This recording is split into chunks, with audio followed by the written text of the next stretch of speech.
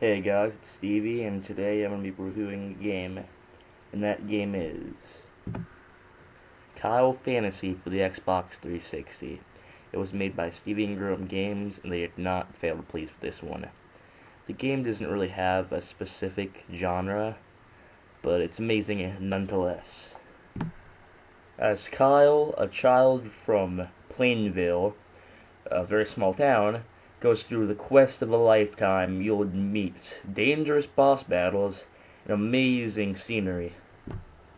The graphics in this game were amazing. It felt like I was really blowing off Tomlin's head. But let's say first-person shooter RPGs aren't your thing and you uh, appreciate something a bit more relaxing. Not a problem. With minigames such as cane balancing, the game seems to be a lot more sophisticated and enjoyable for the younger players. This young gentleman here seems to be enjoying it. Even on a standard small television, HD is amazing.